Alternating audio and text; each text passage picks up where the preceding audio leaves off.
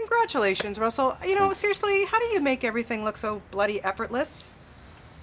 Um, I don't know, because it certainly doesn't feel that way at the time.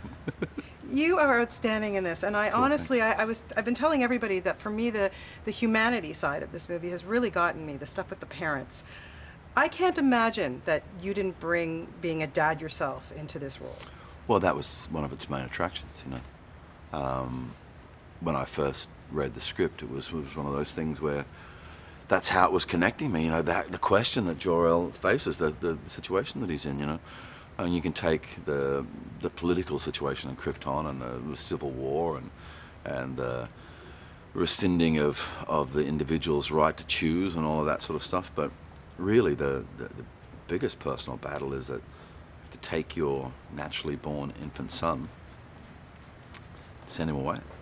You know, but if you don't do it, and if you don't do it in this moment, then he dies as long as, uh, along with the entire history of your planet as it exists. So, yeah, it was it was an interesting thing. There's a lot of metaphorical references in the script to where we are, you know, with our treatment of the environment stuff like that. I just I, I found it quite a profound read, so I got involved. And I can't imagine that this didn't make you be the coolest dad on earth. I mean, seriously, Just your two recently, boys. we did a screening in Sydney, and my boys were there, and I was like, yeah.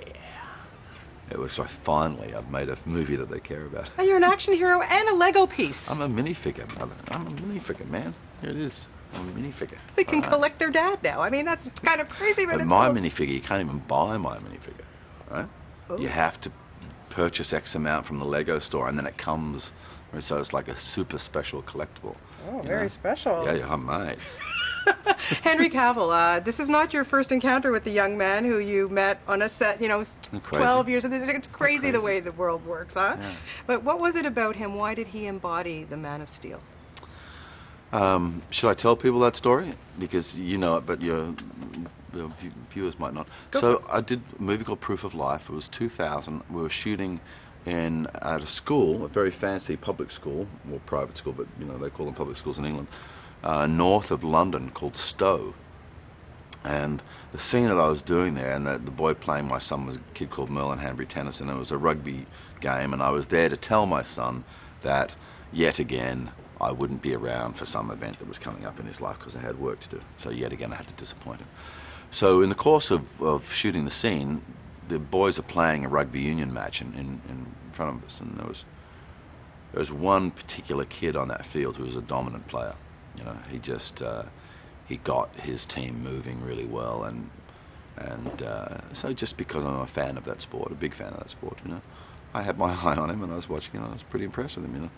And then when we finished shooting that scene, that kid, that dominant player, that took the the moment when I was standing there by myself to come over and talk to me about acting. So we had this brief conversation.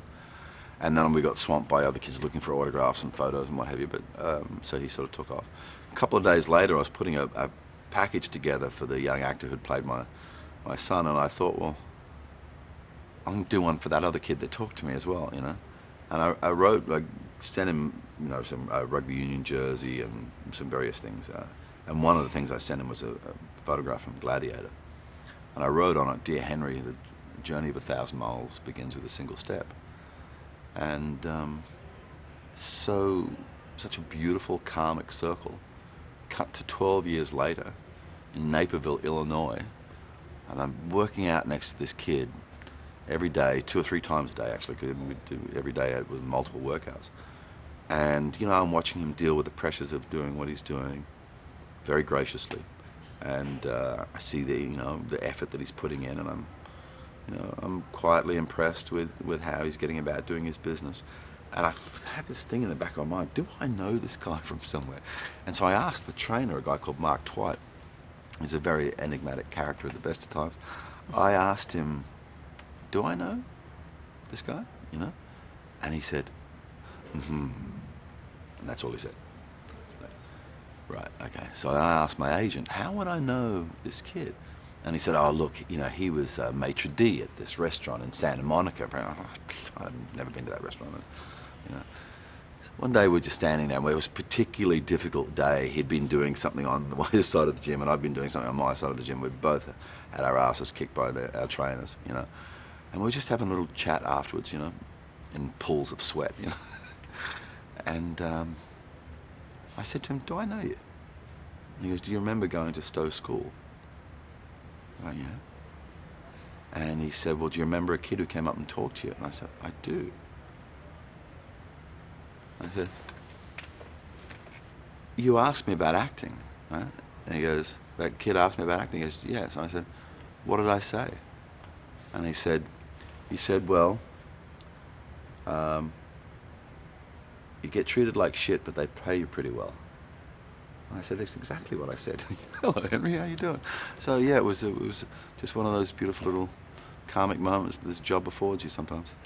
You know what? He he's spectacular in this, and you are so so good in it. And uh, just you know, just please keep him coming. You're doing such a good job. I can hardly wait to see your Noah. Oh my God. That's going to be interesting. People are pretty excited about that one. Yeah. Did you keep dry? Okay. Like you probably have to be pretty wet for that one. It was just water torture, man. I tell you, it's one thing getting wet. And I know this is non-biblical, but we had 36 days where you're wet from like dawn until dark. You're wet, wet, not a little bit wet. You're absolutely fucking soaked wet. You know, it was it drove me nuts. Actually, drove me nuts. But I think that that's going to be good for the movie. And I think you're going to be terrific in it. It's such a pleasure talking to you. Cheers, and uh, best of luck with this. You're so good. You really are so good in it.